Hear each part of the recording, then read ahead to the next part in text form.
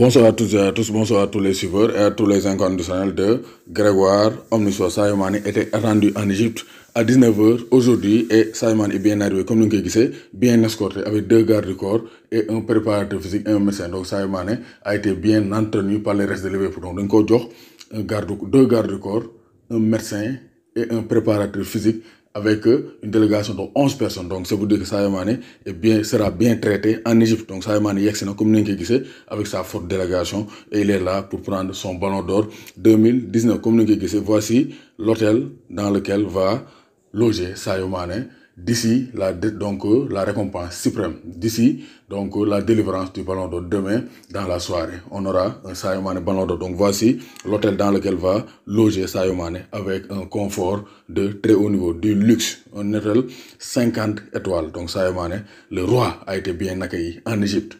The king is arrived. The king is arrived to win the Golden Ball African 2019. Donc Sadio est bien arrivé en Égypte et il sera demain sacré ballon d'or africain. Wali. Sadio ballon d'or.